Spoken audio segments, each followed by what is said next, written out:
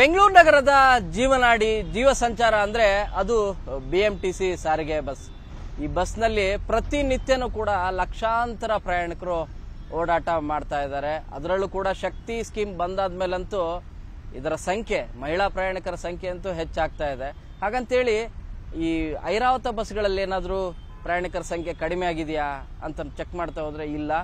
ಅಲ್ಲೂ ಕೂಡ ಯಾಕಂದ್ರೆ ಐ ಟಿ ಮಂದಿ ಇರ್ಬೋದು, ಬೇರೆ ಬೇರೆ ಕಂಪನಿ ಎಂಪ್ಲಾಯೀಸ್ ಏನಿದ್ದಾರೆ, ಅವರು ಕೂಡ ಈ ಬಸ್ಗಳನ್ನೇ ನೆಚ್ಕೊಂಡಿದ್ದಾರೆ. ಎಲೆಕ್ಟ್ರಾನಿಸಿಟಿ ಮತ್ತು ನಿಮ್ಮ ಬೇರೆ ಲಾಂಗ್ ಅಂದರೆ ಬೆಂಗಳೂರು ಹೊರ ವ್ಯಾಪ್ತಿಯಲ್ಲಿರುವಂಥ ಏರಿಯಾಗಳಿಗೆ ಹೋಗಲಿಕ್ಕೆ ಬಿ ಎಂ ಟಿ ಸಿ ಬಸ್ಗಳನ್ನೇ ಹೆಚ್ಚು ನಂಬ್ಕೊಂಡಿದ್ದಾರೆ. ಯಾಕಂದರೆ ಬಹಳ ಕಡಿಮೆ ದರ, ಆಟೋಗಳಿಗೆ, ಕ್ಯಾಬ್ಗಳಿಗೆ ಕಂಪೇರ್ ಮಾಡಿದ್ರೆ ಬಹಳ ಕಡಿಮೆ ದರ ಮತ್ತು ನೀಟಾಗಿ ಹೋಗ್ಬೋದು ಅನ್ನುವಂಥ ಸಾಕಷ್ಟು ರೀತಿಯಾದಂಥ ಭರವಸೆ ಇರೋದು. ಆ ಭರವಸೆಯನ್ನ ಬಿ ಎಂ ಟಿ ಸಿ ಕಳೆದ ನಲವತ್ತು ವರ್ಷಗಳಿಂದನೂ ಕೂಡ ಉಳಿಸ್ಕೊಂಡು ಬಂದಿದೆ. ಈಗ ಸಾಕಷ್ಟು ಪ್ರಯೋಗಗಳನ್ನ ಮಾಡಲಿಕ್ಕೆ ಮುಂದಾಗ್ತಾ ಇದೆ. ಈ ಈ ಹಿಂದೆ ಬೇರೆ ಬೇರೆ ಮೆಟ್ರೋಪಾಲಿಟನ್ ಅಂತ ಏನು ಹೇಳ್ತೀವಿ, ಮೆಟ್ರೋ ನಗರಗಳು. ರಾಜ್ಯದ ಬೇರೆ ಬೇರೆ, ಡೆಲ್ಲಿ ಇರ್ಬೋದು, ಮುಂಬೈ ಇರ್ಬೋದು ಕೋಲ್ಕತ್ತಾ ಇರ್ಬೋದು, ಹೀಗೆ ಬೇರೆ ಬೇರೆ ರೀತಿಯಾದಂಥ ಪ್ರಯತ್ನಗಳನ್ನೆಲ್ಲವನ್ನು ಕೂಡ ಮಾಡಿದ್ದಾರೆ. ಅದಕ್ಕೆ ಕಂಪೇರ್ ಮಾಡಿದ್ರೆ ನಮ್ಮ ರಾಜ್ಯದಲ್ಲಿರುವಂಥ ಎಸ್ಪೆಷಲಿ ರಾಜಧಾನಿ ಬೆಂಗಳೂರಲ್ಲಿರುವಂಥ ಬಿ ಎಂ ಟಿ ಸಿ ಈಗ ನಲವತ್ತು ವರ್ಷಗಳ ಇತಿಹಾಸದಲ್ಲಿ ಈಗ ಡಬಲ್ ಡೆಕ್ಕರ್ ಬಸ್ಗಳನ್ನು ತರಲಿಕ್ಕೆ ಮುಂದಾಗ್ತಾ ಇದೆ. ಹೌದು, ಇದೆಲ್ಲದೂ ಕೂಡ B M T C tender ಪ್ರಕ್ರಿಯೆ ಶುರು ಮಾಡಿರೋದು ಎಲ್ಲ ಸರಿ ಆಯ್ತು ಅಂದ್ರೆ ಇನ್ನೊಂದು ತಿಂಗಳಲ್ಲಿ ಬೆಂಗಳೂರಲ್ಲಿ ಡಬಲ್ ಡೆಕ್ಕರ್ ಬಸ್ಗಳು ಕೂಡ ಬರುತ್ತೆ. ಬಂದ್ರೆ ಏನು ಉಪಯೋಗ? ಬರೋದ್ರಿಂದ ಆಗುವಂತ ಅನಾನುಕೂಲಗಳು ಏನು? ಮತ್ತು ಯಾವ್ಯಾವ ಏರಿಯಾಗಳಲ್ಲಿ ಹೋಗುತ್ತೆ, ಓಡಾಡುತ್ತೆ? ಮತ್ತು ಸಾಕಷ್ಟು ತೊಂದರೆನೂ ಇದೆಯಲ್ಲ ಅಂಡರ್ ಪಾಸ್ ಇರುವಂತ ಬ್ರಿಡ್ಜ್ಗಳಲ್ಲಿ ಹೋಗ್ಬೇಕಾದ್ರೆ ಭಾಳಷ್ಟು ತೊಂದರೆ ಆಗುತ್ತಲ್ಲ ಅನ್ನೋಂಥ ಪ್ರಶ್ನೆನೂ ಇದೆ. ಆ ಎಲ್ಲ ಪ್ರಶ್ನೆಗಳಿಗೆ ಮತ್ತು ಮಾಹಿತಿಯನ್ನು ಮತ್ತು ಏನೇನು ಅನಾನುಕೂಲಗಳಾಗುತ್ತೆ, ಅವುಗಳೆಲ್ಲ ಮಾಹಿತಿಯನ್ನು ನಿಮಗೆ ನೀಡ್ತಾ ಹೋಗ್ತೀನಿ. ಈ ವಿಡಿಯೋ ಕಂಪ್ಲೀಟಾಗಿ ನೋಡಿದ್ರೆ ನಿಮಗೆ ಮಾಹಿತಿ ಸಿಗುತ್ತೆ ಅಂತೇಳಿ ಭಾವಿಸಿದ್ದೇನೆ. ಮೊದಲನೇದಾಗಿ, ರಾಜಧಾನಿ ಬೆಂಗಳೂರಿನಲ್ಲಿ ಡಬಲ್ ಡೆಕ್ಕರ್ ಬಸ್ಗಳು ಬರಲಿಕ್ಕೆ means B M T C ತರಲಿಕ್ಕೆ ಮುಂದಾಗ್ತಾ ಇದೆ. ಯಾವ ರೀತಿಯಾಗಿ ಎಷ್ಟು ತರಗಳ ಎಷ್ಟು ಬಸ್ಗಳನ್ನು ತರುತ್ತೆ ಅಂತ ಹೇಳಿ ಚೆಕ್ ಮಾಡ್ತಾ ಹೋದರೆ, ಸದ್ಯಕ್ಕೆ ಪ್ರಾಯೋಗಿಕ ಹಂತವಾಗಿ ಹತ್ತು ಬಸ್ಗಳನ್ನು ಹತ್ತು ಡಬಲ್ ಡೆಕ್ಕರ್ ಬಸ್ಗಳನ್ನ ತರಲಿಕ್ಕೆ ಮುಂದಾಗ್ತಾ ಇರೋದು. ಈ ಬಗ್ಗೆ ಟೆಂಡರ್ ಪ್ರಕ್ರಿಯೆನ ಕೂಡ ಶುರುವಾಗಿದೆ. ತೊಂಬತ್ತು ಆಸನಗಳಿರುವಂಥ ಈ ಡಬಲ್ ಡೆಕ್ಕರ್ ಏನಿದೆ ಕಂಪ್ಲೀಟ್ ಆಗಿ ಮೇಲೇನೂ ಕೂಡ ಓಪನ್ ಇರೋದಿಲ್ಲ.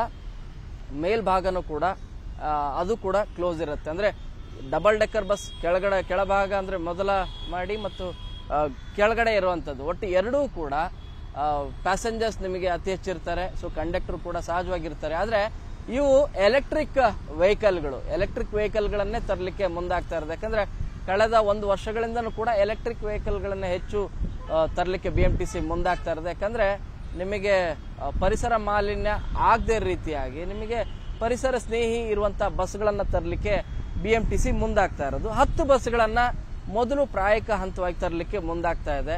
ಈ ಹಿಂದೆ ಬಹಳಷ್ಟು ವರ್ಷಗಳ ಹಿಂದೆನೆ ಮುಂಬೈಯಲ್ಲಿ ಡಬಲ್ ಡೆಕ್ಕರ್ ಬಸ್ಗಳು ಬಂದಿದ್ವು. ಆ ಡಬಲ್ ಡೆಕ್ಕರ್ ಬಸ್ಗಳನ್ನೆಲ್ಲವನ್ನು ಕೂಡ ಚಾಲನೆಲ್ಲ ಮಾಡಿದ್ರು. ಬಟ್ ಈಗ ಎಲೆಕ್ಟ್ರಿಕ್ ಬಸ್ಗಳ ಮೂಲಕನೇ, ತರೋದು ಹೊಸ ಮಾಡೆಲನ್ನು ಎಲೆಕ್ಟ್ರಿಕ್ ಬಸ್ಗಳ ಮೂಲಕನೇ ತರಲಿಕ್ಕೆ ಮುಂದಾಗ್ತಾ ಇರೋದು. ಪ್ರತಿ ಬಸ್ಗೆ ಎಷ್ಟು ಕಾಸ್ಟ್ ಆಗುತ್ತೆ ಅಂತ ಚೆಕ್ ಮಾಡೋದಾದ್ರೆ, ಎರಡು ಕೋಟಿ ಇಪ್ಪತ್ತು ಲಕ್ಷ ವೆಚ್ಚದಲ್ಲಿ B M T C double decker ಬಸ್ಗಳನ್ನು ತರಲಿಕ್ಕೆ ಮುಂದಾಗ್ತಾ ಇರೋದು.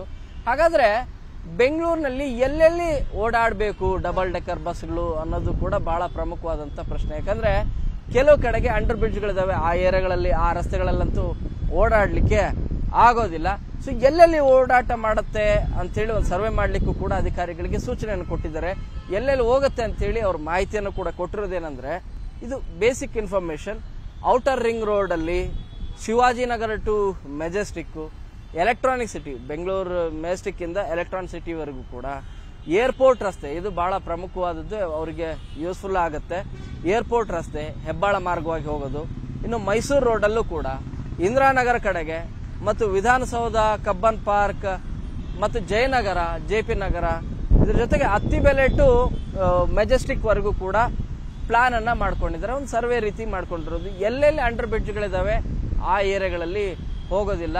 ಇನ್ನೂ ಒಂದು ಬಹಳ ಪ್ರಮುಖವಾಗಿ ಟೂರಿಸಂ ಅನ್ನ ಹೆಚ್ಚು ಪ್ರೋತ್ಸಾಹ ಮಾಡಬೇಕು ಅನ್ನೋ ಕಾರಣಕ್ಕೂ ಕೂಡ ಮೇಲೆ ಟಾಪ್ ಏನಿದೆ ಫಸ್ಟ್ ಫ್ಲೋರ್ ಅಲ್ಲಿರುವಂತ ಟಾಪ್ ಏನಿದೆ, ಅದನ್ನ ಓಪನ್ ಮಾಡಿ ಡಬಲ್ ಡೆಕ್ಕರ್ ಬಸ್ಗಳನ್ನ ಬಿಡಬಹುದಾ ಅನ್ನೋದ್ರ ಬಗ್ಗೆನೂ ಕೂಡ ಯೋಚನೆ, ಚಿಂತನೆಯನ್ನ ಬಿ ಎಂ ಟಿ ಸಿ ಮಾಡ್ತಾ ಇದೆ. ಯಾಕಂದ್ರೆ ವಿಧಾನಸೌಧ, ಬೆಂಗಳೂರಲ್ಲಿ ಯಾವ್ಯಾವ ಪ್ರಮುಖವಾದಂಥ ಪ್ಲೇಸ್ಗಳಿದ್ದಾವೆ ಟೂರಿಸಂ ಪ್ಲೇಸ್ಗಳ ರೀತಿ ಇರೋದು, ನಿಮಗೆ ಎಂ ಜಿ ರೋಡ್ ಇರ್ಬೋದು, ವಿಧಾನಸೌಧ ಇರ್ಬೋದು, ನಿಮಗೆ ಕಬ್ಬನ್ ಪಾರ್ಕ್ ಇರ್ಬೋದು, ಲಾಲ್ ಬಾಗ್ ಇರ್ಬೋದು ಹೀಗೆ ಯಾವ್ಯಾವ ಪ್ರಮುಖವಾದಂಥ ಹಿಸ್ಟಾರಿಕಲಿ ಇರುವಂಥ ದೇವಸ್ಥಾನಗಳು ಕೂಡ ಇಲ್ಲಿದ್ದಾವೆ ಅಲ್ಲಿ ಅವುಗಳ ಏರಿಯಾಗಳಿಗೆ ಬಿ ಎಂ ಟಿ ಸಿ ಬಸ್ಗಳನ್ನು, ಇದರಲ್ಲಿ ಎಸ್ಪೆಷಲಿ ಡಬಲ್ ಡೆಕ್ಕರ್ ಬಸ್ಗಳನ್ನು ಒಂದು ದಿನದ ಪ್ಯಾಕೇಜ್ ರೀತಿಯಾಗಿ ಕೂಡ ಕೊಡ್ಬೋದಲ್ಲ ಅನ್ನೋದ್ರ ಬಗ್ಗೆನೂ ಕೂಡ ಯೋಚನೆ ನಡೀತಾ ಇದೆ. ಈ ಹಿನ್ನೆಲೆಯಲ್ಲಿ ಪ್ರವಾಸೋದ್ಯಮವನ್ನು ಕೂಡ ಹೆಚ್ಚು ಪ್ರೋತ್ಸಾಹನ ಮಾಡಬಹುದು ಈ ಹಿನ್ನೆಲೆಯಲ್ಲಿ ಬಿ ಎಂ ಟಿ ಸಿ ಸಾಕಷ್ಟು ರೀತಿಯಾದಂಥ ಯೋಚನೆಯನ್ನು ಮಾಡ್ತಾ ಇದೆ. ನಿಜವಾಗ್ಲೂ ಮೈಸೂರಲ್ಲಿ ನಿಮಗೆ ಉತ್ಸವದ ಸಂದರ್ಭದಲ್ಲಿ ಡಬಲ್ ಡೆಕ್ಕರ್ ಬಸ್ಗಳು ಯೂಸ್ ಆಗ್ತಾ ಇದ್ದಾವೆ ಅವುಗಳನ್ನು ನೋಡಿದ್ವಿ. ಯಾಕಂದ್ರೆ ಟೂರಿಸಂ ಹಿನ್ನೆಲೆಯಲ್ಲಿ ಮಾಡ್ತಿರೋದು. ಅದೇ ರೀತಿಯಾಗಿ ಬಿ ಎಂ ಟಿ ಸಿ ಈಗ ಪ್ರಯಾಣಿಕರಿಗೆ ಅನುಕೂಲ ಆಗೋ ರೀತಿಯಾಗಿ ಮತ್ತು ಪ್ರವಾಸೋದ್ಯಮಕ್ಕೂ ಉತ್ತೇಜನ ಕೊಡೋ ರೀತಿಯಾಗಿ ಆರಂಭ ಮಾಡಲಿಕ್ಕೆ ಮುಂದಾಗ್ತಾ ಇದೆ. ಇದಕ್ಕೆ ಹೇಗೆ ಸ್ಪಂದನೆ ಸಿಗುತ್ತೆ ಅನ್ನೋದ್ರ ಮೇಲೆ ಹೆಚ್ಚುವರಿ ಬಸ್ ತಗೋಬೇಕೇ ಬೇಡವಾ ಅನ್ನೋದ್ರ ಬಗ್ಗೆನೂ ಕೂಡ ಬಿ ಎಂ ಟಿ ಸಿ ಅಧಿಕಾರಿಗಳು ಮುಂದೆ ನಿರ್ಧಾರವನ್ನು ಮಾಡಲಿದ್ದಾರೆ. ಸೊ ಇದು ರಾಜಧಾನಿ ಬೆಂಗಳೂರಿನಲ್ಲಿ ಡಬಲ್ ಡೆಕ್ಕರ್ ಬಸ್ ತರಲಿಕ್ಕೆ ಕೊನೆಗೂ ನಲವತ್ತು ವರ್ಷದ ನಂತರ ತರಲಿಕ್ಕೆ ಬಿ ಎಂ ಟಿ ಸಿ ಮುಂದಾಗ್ತಾ ಇದೆ. ಇದನ್ನ ಜನರು ಹೇಗೆ ಸಿಲಿಕಾನ್ ಸಿಟಿಯ ಜನರು ಹೇಗೆ ರಿಸೀವ್ ಮಾಡ್ಕೋತಾರೆ? ವೀಕೆಂಡ್ಗಳಲ್ಲಿ ಈ ಬಸ್ಗಳಿಗೆ ಜಾಸ್ತಿ ಪ್ರಯಾಣಿಕರು ಬರಬಹುದಾ ಅಥವಾ ವೀಕ್ ಡೇಸ್ಗಳಲ್ಲಿ ಹೇಗೆ ಇವುಗಳನ್ನು ಬಳಕೆ ಮಾಡ್ತಾರೆ? ಆಫೀಸ್ ಹೋಗ್ಲಿಕ್ಕೂ ಕೂಡ ಈ ಡಬಲ್ ಡೆಕ್ಕರ್ ಬಸ್ಗಳು ಹೇಗೆ ಅನುಕೂಲ ಆಗುತ್ತೆ? ಪ್ರಾಕ್ಟಿಕಲ್ ಆಗಿ ಏನೆಲ್ಲ ತೊಂದರೆಗಳಾಗತ್ತೆ?